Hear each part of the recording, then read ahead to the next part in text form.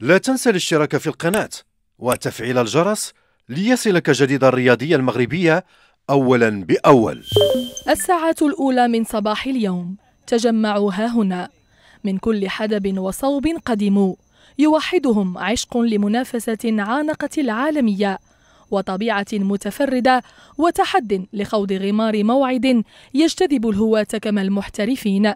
سائقون يمثلون أربعين بلدا في آخر الترتيبات والاستعدادات قبل إعطاء انطلاقة رالي المغرب في نسخته الرابعة والعشرين تحت الرعاية السامية لصاحب الجلالة الملك محمد السادس. ومن أكادير كانت الانطلاقة وباعتبار نسخة هذه السنة نهائي بطولة العالم للراليات الصحراوية فقد جذب كبار أبطال هذا النوع من التباري. يتقدمهم حامل اللقب والمتوج ست مرات القطري ناصر العطية.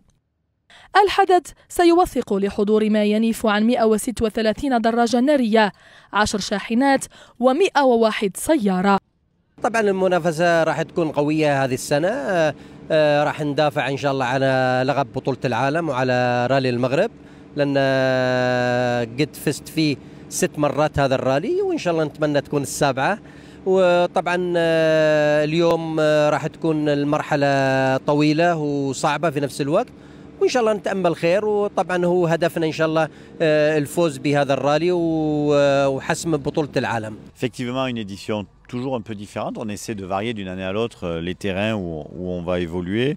On a quand même refait un départ d'Agadir cette année comme l'an dernier, mais l'an dernier on était parti plein sud, Tata, Layoun. Euh, et là, on a décidé de revenir vers l'est, des zones un peu plus connues du rallye raid, puisqu'ici, Mamid, Zagora, euh, voilà, avec les dunes magnifiques euh, qu'ils ont traversées aujourd'hui.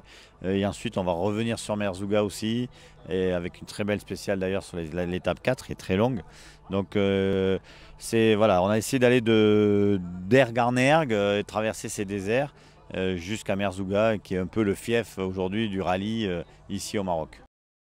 المرحلة الأولى من ملحمة راليات المغرب ربطت اليوم بين مدينتي أكادير وزاغورا على مسافة 387 كيلومترا في السباق الخاص وخلالها اشتد التنافس بين أبطال هذا النوع الرياضي الذين اكتشفوا وجها آخر لجمال المغرب بعبقه الصحراوي والفائز لم يكن إلا حامل اللقب ناصر العطية الذي ضمن الفوز ومعه التتويج ببطولة العالم للراليات الصحراوية هذه السنة.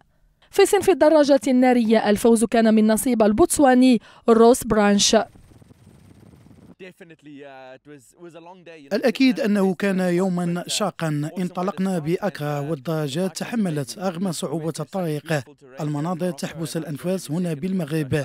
الدوري رائع. وسعيد أنني ضمن المشاركين.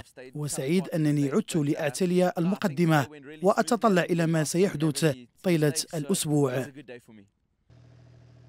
غدا محطة ثانية تمتد لمسافة 388 كيلومترا.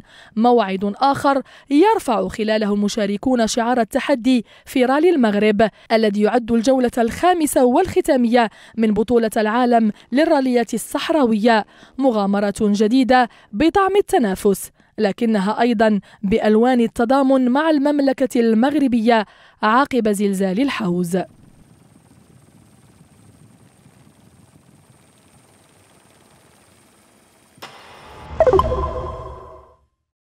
You